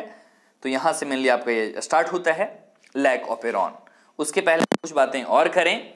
कोई भी ऑपेरॉन है, किसी भी डीएनए का पार्ट होता है, यही बच्चे कंफ्यूज होते हैं है क्या? लैक ऑपेरॉन है क्या? तो an operon is a part of DNA सबसे पहली पॉइंट ठीक है? जो कि सिंगल रेगुलेटेड यूनिट की तरह काम करता है, जिसके पास एक या एक से ज़्यादा स्ट्रक्चरल जीन हो सकते हैं, एक ऑपरेटर जीन होता है, और एक प्रोमोटर जीन होता है, और एक रेगुलेटर जीन होता है। रेगुलेटर जीन जो होता है, वहाँ पर आई होता है, जिसको आई जीन बोलते हैं, जिसको इनहिबिटर भी बोला जाता है। याद रखिएगा। इसके बाद, ओपेरॉन दो टाइप के होते हैं। सुनिएगा ध्यान से। पहला है इंड्यूसिबल ओपेरॉन, जो कि लैक ओपेरॉन होता है। लैक नाम क्यों पड़ा? क्योंकि लैक्टोज है, इंड्यूसर होता है, वो सबस्ट्रेट है और इंजाइम वहाँ पे काम करेगा, बीटा ग्लैक्टोसाइडेज। नेक्स्ट होता है रिप्रेशेबल ओपेरॉन। एग्जांपल है ट्रिप्टोफैन ओपेरॉन या टीआरपी ओपेरॉन बोला जाता है। मेनली यही चीज़ इंपॉर्टेंट है। आगे। लैकोपेरॉन में जो पॉलिसिस्ट्रोनिक स्ट्रक्चरल जीन है, उसको कौन रेगुलेट करेगा? तो कॉमन प्रोमोटर और रेगुलेटरी जीन उसको रेगुलेट करने का काम करता है, जो कि बैक्टीरिया में कॉमन होता है। लॉक लैकोपेरॉन जो है, वो ट्रांसक्रिप्शनली रेगुलेटेड सिस्टम है। ये बहुत गजब का सिस्टम बहुत ही श्रेष्ठ सिस्टम जो इकोलाई में डिस्कवरी किया जैकब एंड मोनार्ड ने। ये बहुत ही अच्छी डिस्कवरी रही साइंस में। इसके बाद लैकोपेरॉन के बारे में एक रेगुलेटरी जीन होगा और तीन स्ट्रक्चर जीन होते हैं। जो एक रेगुलेटरी जीन होगा, वो आई जीन होगा, जो कि इनहिबिटर होगा, जो कि कोड करेगा लैकोपेरॉन के रिप्रेशर के। ठीक है? उसमें तीन स्ट्रक्चर जीन होते हैं जेड वाई ए जेड अब जो चीज़ मैं बता रहा हूँ, वो इंपॉर्टेंट है, किसके लिए कौन कर रहा है? जेड है beta galactosidase enzyme galactose plus glucose next है वाई परमिएज इंजाइम ये क्या करेगा? बीटा ग्लैक्टोसाइड जो है और लैक्टोज है, उसकी परमेबिलिटी को बढ़ाने का काम करेगा। और इसके बाद ए है ट्रांस एसिटाइलाइज एंजाइम के लिए काम करता है। जो तीनों जीन हैं, जो तीन जीन के प्रोडक्ट हैं, जो लैकोपरॉन में, वो मेटाबॉलिज्म, जो लैक्टोज का होना है, उसके लिए काफ़ी इंपॉर्टेंट यहाँ पे होते हैं। ठीक है? आगे की ओर आप कुछ और सुनना। अगर कोई ऑफ़ है ऑफ़ को हमें ऑन करना है तो यहाँ पर इंड्यूसर का काम कर दो और लैक्टोज यहाँ लगा दो। बस, तैयार है। बिल्कुल यही काम करेगा। लैक्टोज सेलो लैक्टोज बनाना है। बीटा ग्लेक्टोसाइडेज यहाँ पर काम कर रहा है। ठीक है? अब और भी कुछ बातें अगर आप सुनना चाहते हैं आप डायग्राम से बिल्कुल इजी वे में इसमें समझ सकते हो। आपने पढ़ा भी होगा क्लासों में। ठीक है, हम आगे की ओर बढ़ते हैं। इसमें ईच ऑपेरॉन में अगर हर एक ऑपेरॉन है तो उसमें एक स्पेसिफिक ऑपरेटर होता है जो कि लैक ऑपरेटर है और एक स्पेसिफिक रिप्रेशर होता है जो कि लैक रिप्रेशर होता है। जो रियल इंड्यूसर होते हैं, वो एलोलेक्टोज होते हैं इसमें। ठीक है, आगे की ओर हम बढ़ते हैं। कुछ कुछ जीन भी इसमें शामिल होते हैं, वो भी आप देखिएगा। जीन जो कौन कौन से शामिल हैं? सुनिएगा जरा गौर से। ग्लूकोज और गैलेक्टोज के लिए इंड्यूसर एबसेंट होते हैं, जो कि लैक्टोज में होते हैं। पॉजिटिव रेगुलेशन चल रहा है, ये हमें हायर क्लासेस में स्टडी करनी है। जो जीन तो यहाँ पर आपको कुछ बातें बताई गई हैं। क्वेश्चन आपसे पूछा गया है। बेसिक जो चीज़ें थी, मैंने आपको यहाँ बता रखा है। How long the lac operon would be expressed in the presence of lactose जब तक वो काम करेगा till the level of glucose remain low in the cell जब तक कि सेल में ग्लूकोज का लेवल कम ना हो जाए, उस लेवल तक ये काम करता है। एक होता है निगेटिव रेगुलेशन पॉजिटिव रेगुलेशन मैंने आपको बता ही दिया है, और नेगेटिव रेगुलेशन भी जस्ट आप उसका अपोजिट कर दो मीन्स लैकोपरेन का जो रेगुलेशन है रिप्रेशर अगर करने लगे, और पॉजिटिव रेगुलेशन इस लेवल पर स्टडी नहीं की जाती है। और यहाँ तक हमारे खत्म हुआ, इसके बाद आती है ह्यूमन जिनोम प्रोजेक्ट के बारे में। यहाँ से जो क्वेश्चन है लिमिटेड बनते हैं तो आपको डायरेक्ट मैं क्वेश्चन ही बताऊँगा। सिंपल सा स्टडी ऑफ़ जीनोम को जीनोमिक्स बोला जाता है। एक बारी आई एच के बारे में। एच क्या होता है तो ह्यूमन जीनोम प्रोजेक्ट एक मेगा प्रोजेक्ट था, जो कि 1990 में लॉन्च किया गया था ह्यूमन जीनोम के सिक्वेंसिंग के लिए। तेरह साल का यह प्रोजेक्ट था जिसको डिपार्टमेंट को कोऑर्डिनेट करने का काम किया। यूएस डिपार्टमेंट ने इसको कोऑर्डिनेट करने का काम किया। यूएस डिपार्टमेंट ऑफ़ एनर्जी ठीक है? इसको आगे लास्ट में दे रखा है यूएस डिपार्टमेंट ऑफ़ एनर्जी के बारे में। और national institute of health complete इसको किया गया 2003 में। जेनेटिक मेकअप किसी भी ऑर्गेनिज्म का तैयार किया गया और इंडिविजुअल का डीएनए सीक्वेंस का वगैरह का तैयार किया गया। ह्यूमन जो एच जो है, ह्यूमन जीनोम प्रोजेक्ट, एक क्लोजली एसोसिएट है बायो इन्फॉर्मेटिक्स के साथ। और गोल्स क्या रहे इसके? अच्छा पहले बायो इन्फॉर्मेटिक्स क्या होता है? कंप्यूटर टेक्नोलॉजी का ये एप्लीकेशन है, जिसमें बायोलॉजिकल इंफॉर्मेशन को मैनेज किया जाता है। ठीक है? जो 97 परसेंट जो ह्यूमन का डीएनए है, वो नॉन फंक्शनल होता है। जानकर ताजुब होगा आपको। वो जंक डीएनए होता है, जैसे intron repetitive DNA, satellite DNA, ये सब होते हैं शामिल। ठीक है? अब गोल्स क्या रहे एचजीपी के इंपॉर्टेंट गोल्स कि हमें ह्यूमन डीएनए के सारे जीन्स को आइडेंटिफाई करना है? बीस से पच्चीस हज़ार होते हैं। ठीक है? अब तीन बिलियन जो सेक्वेंस है केमिकल बेस पेयर का, वो कैसे ह्यूमन डीएनए बना है, उसको बिल्कुल डिटरमाइन करना था और स्टोर करना था हमें इसे डेटाबेस में, ये भी हमारे लिए इंपॉर्टेंट था। और इंप्रूव करना था डेटा एनालिसिस के टूल के कि बायो इन्फॉर्मेटिक्स का डेवलपमेंट हो सके। इसके बाद जो ट्रांसफ़र रिलेटेड टेक्नोलॉजी थे, जो अदर सेक्टर इंडस्ट्री वगैरह के, उनको भी करना था ये ट्रांसफ़र कुछ एलसी वगैरह से रिलेटेड थे एथिकल लीगल सोशल इश्यूज़ वगैरह इसमें शामिल थे, जो कि इस प्रोजेक्ट से एराइज होते हैं। ठीक है? आपको मैंने बता दिया कौन इसने किया था। अब इसमें एचजीपी में बहुत सारे नॉन ह्यूमन मॉडल ऑर्गेनिज्म लिए गए। वो ऑर्गेनिज्म क्या थे? देखिएगा यहाँ, ये इंपॉर्टेंट है। उसमें एक बैक्टीरिया लिया गया, जिसका नाम था हेमोफिलस इन्फ्लुएंजाई एक ईस्ट भी उसमें शामिल था, एक, सीनोरेबेडाइटिस एलिगेंस, एक नेमाटोड भी शामिल था, जो कि फ्री लिविंग नॉन पैथोजेनिक था। ठीक है, इसके बाद ड्रोसोफिला एक फ्रूट फ्लाई भी शामिल था, प्लांट्स राइस और एराबिडोपिस शामिल थे। जो मेथड्स थे जीपी में, वो दो मेजर अप्रोच पे काम कर रहे थे। एक तो एक्सप्रेस सीक्वेंस टैग था, जिसको ईएसटी e बोला जाता है, जिसमें सारे जीन्स को आइडेंटिफाई किया जाता है, जो कि आरएनए बनते हैं, जो एमआरएनए के बारे में। इसके बाद बारी आती है सीक्वेंस एनोटेशन के बारे में। तो सीक्वेंस एनोटेशन एक ब्लाइंड अप्रोच था बिल्कुल, जिसमें सिंपली सीक्वेंसिंग किया जाता था जीनोम के पूरे होल सेट को, जिसमें कोडिंग और नॉन कोडिंग सीक्वेंस मौजूद थे। और इसको आगे कुछ इनके फ़ंक्शन के अकॉर्डिंग काम किया जाता था। सीक्वेंसिंग ऑटोमेटेड डीएनए सीक्वेंस से काम किया जाता था, जो कि मेथड जो था सेंगर ने पहले ही बना दिया था अमीनो एसिड का सीक्वेंस प्रोटीन में, उस पर काम चल रही थी। इसमें दो हॉस्ट लिए गए थे। हॉस्ट काफ़ी इंपॉर्टेंट है। वेक्टर्स जो लिए गए थे सॉरी बैक और एग बैक जो था बैक्टीरियल आर्टिफिशियल क्रोमोजोम और एग जो था ईस्ट आर्टिफिशियल क्रोमोजोम जो वेक्टर्स एच में लिए गए। हॉर्स जो थे जनरली बैक्टीरिया और ईस्ट थे शामिल। ठीक है? आगे की ओर। ये आपको मैंने बता ही दिया, जो कि सैंगर इसमें शामिल थे। अब इसमें जो सीक्वेंस क्रोमोजोम नंबर वन का जो किया गया, वो मई 2006 में जाकर ये कंप्लीट हो गया। ठीक है? अब ह्यूमन के 24 क्रोमोजोम की इसमें स्टडी की गई, जिसमें पाया गया 22 ऑटोसोम्स हैं और एक सौ बाई क्रोमोजोम टोटल 24 होते हैं इसमें शामिल। तो 24 क्रोमोजोम की यहाँ पे जाकर स्टडी की गई है। इसके बाद कुछ जो सैलेंट फीचर्स रहे ह्यूमन जीनोम के, वो आपसे पूछे जाएँगे एग्ज़ाम में। ये देखिए ह्यूमन जीनोम में 3164.7 मिलियन न्यूक्लियोटाइड बेसिस शामिल होते हैं। एवरेज जो जीन का साइज़ है वो 3000 बेसिस होते हैं। लार्जेस्ट जो जीन है वो डिस्ट्रॉफिन होता है और जो स्मॉलेस्ट है वो एसआरवाई जीन होता है, जिसको टीडीएफ जीन भी बोला करते हैं। ठीक है? डिस्ट्रॉफिन जीन कहाँ होगा? तो एक्स क्रोमोजोम पे होगा S R Y Y chromosome पे। टोटल नंबर ऑफ़ जीन जो एस्टिमेट किया गया वो लगभग तीस हज़ार। 99.9 परसेंट जो न्यूक्लियोटाइड बेसिस होता है, वो एग्जैक्टली exactly सेम होता है सारे लोगों में। ठीक है? अब जो फ़ंक्शन है 50 परसेंट से ज़्यादा जीन का डिस्कवर जो है वो अननोन है। Less than two percent of genome code for protein ये भी आपको जानकर ताजुब होगा। इसके अलावा कई सारे हैं। एक आपका ये इंपॉर्टेंट है, जो क्रोमोजोम नंबर वन है, उसके पास मैक्सिमम नंबर ऑफ़ जीन है टू नाइन सिक्स एट और जो बाई क्रोमोजोम है, उसके पास सबसे कम टू थ्री वन ठीक है, इसके बाद बारी आती है SNP के बारे में। Single nucleotide polymorphism 1.4 meter location होता है जहाँ के सिर्फ़ सिंगल बेस डिफरेंस एग्जिस्ट करता है। ठीक है, स्निप्स इसको बोला जाता है, इसके आगे जीन लाइब्रेरी वगैरह भी किया गया, उतना इंपॉर्टेंट नहीं है हमारे लिए। एप्लीकेशन और फ्यूचर चैलेंजेस भी हैं, नहीं पूछा जाएगा आपसे। अब लास्ट जो टॉपिक है हमारा, वो बारी आती है डीएनए फिंगरप्रिंटिंग जब भी बारी आए डीएनए फिंगरप्रिंटिंग एलेक्स जेफरी का नाम आना चाहिए। ठीक है डीएनए फिंगरप्रिंटिंग एलेक्स जेफरी सबसे पहले।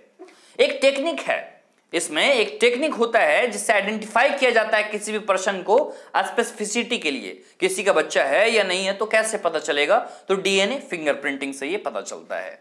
ठीक है? इसके लिए कुछ टेस्ट कराए जाते हैं। जैसे, मैं आपको एक ट्रिक देता हूँ snow southern blotting northern blotting और वेस्टर्न ब्लॉटिंग तो स्नो ड्रॉप अप याद कर लो, बिल्कुल आपको याद हो जाएगा। स्नो है तो स्नो किसके लिए? तो डी के लिए तो डी फॉर डीएनए तो सॉदर्न ब्लॉटिंग डीएनए के लिए नॉर्दर्न ब्लॉटिंग आरएनए के लिए, ठीक है? और वेस्टर्न ब्लॉटिंग जनरली प्रोटीन के लिए किया जाता है, ठीक है? तो डीएनए आरएनए तो आपको याद ही हो जाएगा। आगे। बारी आती है रेपिटेटिव डीएनए के बारे में। जनरली इसमें इन्वॉल्व होते हैं, कुछ आइडेंटिफाइंग डिफरेंस होते हैं, जो कि स्पेसिफिक रीजन में डीएनए सीक्वेंस में मौजूद होते हैं। किससे किया जाता है? तो डेंसिटी ग्रेडियंट सेंट्रीफ्यूगेशन से किया जाता है, जो कि वही सी इसमें इन्वॉल्व होता है। रेप्टेटिव डीएनए और बल्क जीनोमिक डीएनए को इसमें सेपरेट करने का काम करते हैं। इसके बाद बारी आती है सैटेलाइट डीएनए के बारे में, जो कि प्रोटीन का फॉर्मेशन नहीं करते। बेस जो कॉम्प्लीमेंट्री पेयर है एटी रीच और जीसी रीच होना चाहिए। लेंथ ऑफ़ सेगमेंट और number of repetitive units mini satellite और माइक्रो सैटेलाइट दो तरह की चीज़ें होती हैं। मिनी सेटेलाइट वीएनटीआर बोलते हैं variable number of tandem repeats 0.1 to 20 KB का होता है ये। 11 से 60 बेस पेयर इसमें मौजूद होते हैं, जो कि क्लस्टर के फॉर्म में इसमें होते हैं। माइक्रो सैटेलाइट जिसे एसटीआर बोला गया शॉर्ट टेंडम रिपीट दो से छह बेस पेयर इसमें शामिल होते हैं। मेजर पीक है बल्क जीनोमिक डीएनए के लिए माइनर पीक है रिप्टेटिव डीएनए के लिए सैटेलाइट डीएनए के लिए। ठीक है, आगे की ओर बात करते हैं हम। जो सैटेलाइट डीएनए है, वो हाई डिग्री ऑफ़ पॉलीमॉर्फिज्म को शो करता है क्वेश्चन आया हुआ है। और डीएनए फिंगरप्रिंटिंग का बेसिस भी बिल्कुल यही होता है। अब जो हाई डिग्री ऑफ़ पॉलीमॉर्फिज्म है, क्यों? क्योंकि वेरिएशन होता है जेनेटिक लेवल पे म्यूटेशन में। इसके बाद जो वीएनटीआर होता है किसी भी डीएनए में, वो फ्लैंक किया जाता है रिस्ट्रिक्शन साइड से, इसलिए उसको रिस्ट्रिक्टेड फ्रेगमेंट बोला करते हैं। ठीक है तो आप जानती हैं डीएनए फिंगरप्रिंटिंग पैटर्निटी टेस्टिंग के लिए किया जाता है जनरली ठीक है? तो पॉलीमॉर्फिज्म के बारे में आप समझ चुके हैं। इवोल्यूशन हुआ है तो पॉलीमॉर्फिज्म एक बहुत ही इंपॉर्टेंट रोल होता है। वीएनटीआर का मैंने आपको फुल फॉर्म बता दिया है। क्या होता है? अब देखिए डीएनए फिंगर एलेक्जेफ्री का भी नाम हमने ले लिया है। अब कौन से वो प्रोसेस होते हैं जिससे किया जाता है ये फिंगरप्रिंटिंग में? कौन कौन से एम्स में आए हुए क्वेश्चन है? सबसे पहले हमने डीएनए को आइसोलेट कर लिया। हमने डीएनए को डाइजेस्ट करवाया। रेस्ट्रिक्शन इंडोनिक्लियस से इंजाइम इंपॉर्टेंट है। आपको बायोटेक में भी आएगा। इसके बाद डीएनए का सेपरेशन किया गया इलेक्ट्रोफोरेसिस से, इसके बाद ट्रांसफरिंग किया गया, ब्लॉटिंग किया गया सेपरेटेड डीएनए फ्रेगमेंट्स को सिंथेटिक मेम्ब्रेन से, उसमें नाइट्रोसेलोज नाइलॉन वगैरह होते हैं सॉदर्न ब्लॉटिंग की जाती है। नेक्स्ट है हाइब्रिडाइजेशन लेवल्ड वीएनटीआर प्रोब को इसमें इस्तेमाल किया गया, इसके बाद डिटेक्शन करवाया गया हाइब्रिडाइज डीएनए का फ्रेगमेंट्स का ऑटो रेडियोग्राफी से। ऑटो रेडियोग्राम जो होता है, वो बहुत सारे बैंड देता है डिफरेंट साइज़ के। एक्सेप्शन रहे हैं मोनोजाइगोटिक ट्यून्स और आइडेंटिकल ट्यून्स लेकिन जो ये टेक्निक है, ये फॉरेन साइंस फॉरेंसिक साइंस में बड़ा ही इंपॉर्टेंट है। पैटर्निटी टेस्टिंग में अगर पॉपुलेशन और जेनेटिक जो जेनेटिक डाइवर्सिटी है, उसको अगर हमें देखना है तो उसके लिए काफ़ी इंपॉर्टेंट होता है। जो सेंसिटिविटी है इस टेक्निक की, वो दिन ब दिन इंक्रीज होते जा रहा है पीसीआर से पॉलीमराइज चेन रिएक्शन से। ठीक है तो ये सब बेसिक सी कुछ बातें थी। आप यहाँ पर देख सकते हो पैटर्नल क्रोमोजोम और एक तरफ़ मैटर्नल क्रोमोजोम है। और यहाँ पर जो बच्चा है, जिसका वो करवाया जा रहा है, उसके लिए जो इंडिविजुअल बी का है। तो यहाँ पर ये करवाया जाता है और ऐसे यहाँ पे देखा जाता है इसमें V N T R number of short tandem repeats वगैरह। तो यही हमारी बेसिक सी चीज़ें थी, कैसे ये कराया जाता है। तो ये हमारा यहाँ पर कंप्लीट हुआ मॉलिकुलर बेसिस ऑफ़ इनहेरिटेंस ये पूरा का पूरा चैप्टर एक बार एनसीआरटी से आप खुद भी पढ़िएगा और एक बार वीडियो को ज़रूर देखिएगा और लोगों में शेयर कीजिए इस वीडियो को। ज़्यादा से ज़्यादा हमारे चैनल को सब्सक्राइब करने की कोशिश करें और बार बार हमारे चैनल पर विज़िट करें, क्योंकि वीडियोस बहुत सारे हैं। सबसे खूबसूरती है इस चैनल की, इस पर फ्री एड्स आते हैं। आपको सिर्फ़ कंट्रीब्यूट करना है। दस रुपए मंथली का कंट्रीब्यूशन है, जो कि आपको डिस्क्रिप्शन बॉक्स में भी मिल जाएगा। आप वहाँ से कंट्रीब्यूट कर सकते हैं और बिना हिचक के एड फ्री चैनल आप ये देख सकते हैं। बीट्स फॉर बायोलॉजी तो इसी तरह बिट्स फॉर बायोलॉजी पे बने रहिए बार बार हमारे चैनल पे आने के लिए और हमारे चैनल को देखने के लिए और हमारे वीडियोस को शेयर करने के लिए आपका बहुत बहुत धन्यवाद। Thank you for watching this video all the best for your exams